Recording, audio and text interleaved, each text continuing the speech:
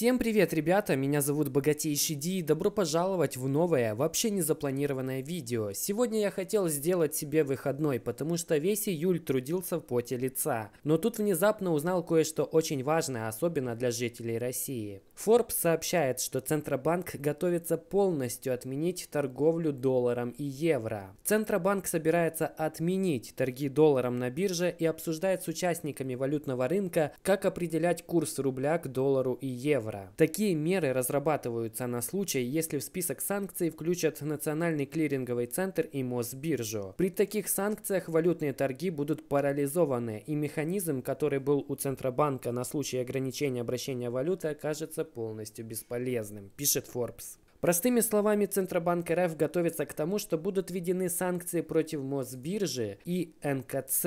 В случае, если они будут введены, торги рубля к доллару и евро могут привести к огромному коллапсу курсов. После заморозки торгов доллара и евро на бирже, их курс будут определять крупнейшие банки России. Другими словами, нарисуем курс какой захотим. Кстати, официально уже известно о том, что торги японской иеной будут приостановлены 8 августа. Кажется, власти уже тестируют и проверяют реакцию общества на такие действия сначала на японской иене. И ну нужно уточнить, что иена далеко не самая маленькая валюта в мире, так что эксперимент уже достаточно масштабный. Санкции против НКЦ – это блокировка около 50 миллиардов долларов. Добавим сюда еще 300 миллиардов долларов заблокированных золотовалютных резервов России и получится уже внушительная сумма.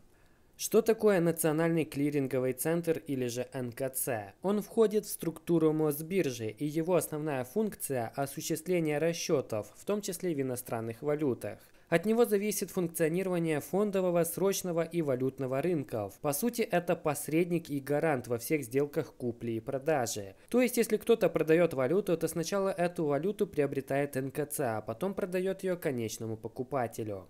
Если Штаты действительно ведут санкции в отношении Национального клирингового центра, то он уже не сможет проводить такие расчеты. И есть серьезные опасения, что это вообще сделает невозможным использование доллара в российской внешней торговле. Заблокирует НКЦ или нет вопрос спорный, ведь Америке и самой это невыгодно. Однако мы видим тенденцию, начиная от японской иены и заканчивая долларом с евро, что Центробанк активно готовится к блокировке доллара и евро. И скорее всего будет очень мотивировать население срочно избавляться избавляться и от евро, и от доллара, как от очень токсичных и рискованных валют. Это, кстати, видно из поведения брокеров. Брокеры уже начинают вводить комиссию за хранение долларов на брокерском счету. Это еще один рычаг, как правительство пытается заставить население избавляться от доллара. И кажется, мы идем к тому, что наличный доллар можно будет найти только из-под полы, если ты понимаешь, о чем я. Прямо Советский Союз какой-нибудь. Завтра я сниму видео о том, что делать с долларом и евро, если ты живешь в России и других странах. Поэтому, чтобы не пропустить это видео, обязательно подпишись и нажми на колокольчик.